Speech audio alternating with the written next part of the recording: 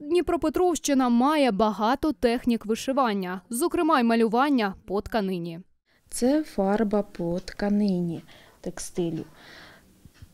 Її потрібно робити, розмішую на палітрі, мастихіном, і щоб вона не була рідкою. Ця сорочка теж вважається вишиванкою, утім мальованою. Такою технікою вже більше десяти років розписує по тканині майстриня Людмила. Та зізнається, таке мистецтво вимагає терпіння та наполегливості. Це важче, я скажу, чим на папері, там, чим по дереву, бо тканина сама по собі кісточка і вона тягне, тому що специфіка кожної тканини, вона шероховата, вона довше сохне. Але все-таки, коли ти малюєш це з душею, то складного нічого немає.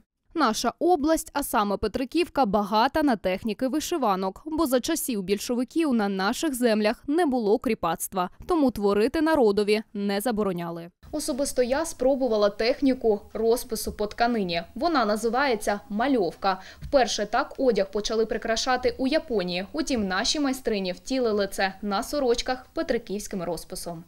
Раніше такі мальованки розписували в тих місцях, де візерунків не було видно, аби ніхто не наврочив поганої долі. Але все ж таки, як і вишиванка, вона є оберегом. Як раніше, да, їх малювали особливо на спині, на таких місцях, де не було видно. Це здорово, тому що ми відроджуємо свої традиції, ми їх відроджуємо, зберігаємо і передаємо.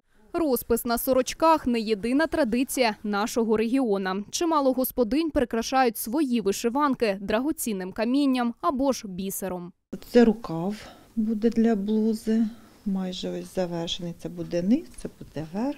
А от майстриня Катерина Васильівна віддає перевагу класичній вишиванці. Тримати голку у руках її навчила мама. Нині сорочки пані Катерини в різних куточках нашої країни і навіть у Європі.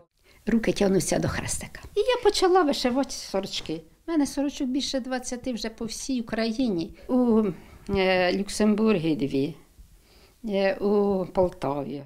З роками техніки вишивки змінювались та удосконалювались. Утім, традиції, що були зароджені при створенні сорочок, збереглись і нині.